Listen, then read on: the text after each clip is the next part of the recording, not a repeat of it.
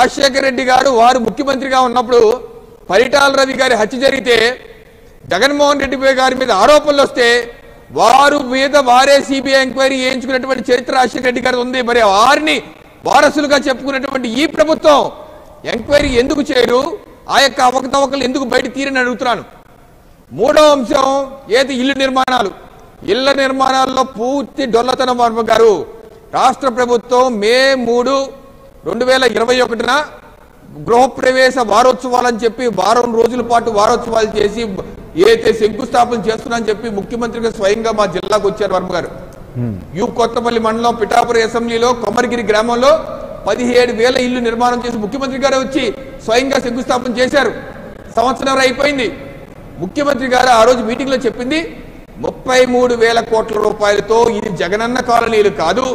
ఇది నగరాలు పట్టణాలు నిర్మిస్తున్నాం అన్నారు.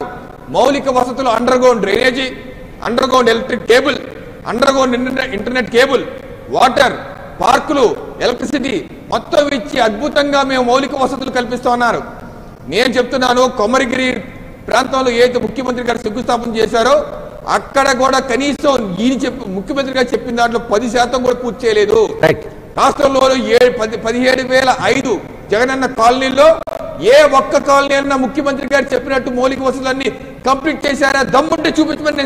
సవాలు విసురుతున్నాయి ఈ ప్రభుత్వాన్ని. రైట్ శ్రీనివాస్ రెడ్డి గారు డైరెక్ట్గా రవికిరణ్ గారు సవాల్ చేసే పరిస్థితి ఈ రోజు.